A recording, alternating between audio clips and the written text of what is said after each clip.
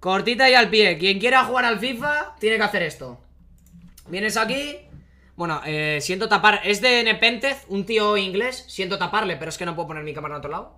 Te metes en FIFA, normal, ya el juego descargado, que lo tenéis que tener todos descargado.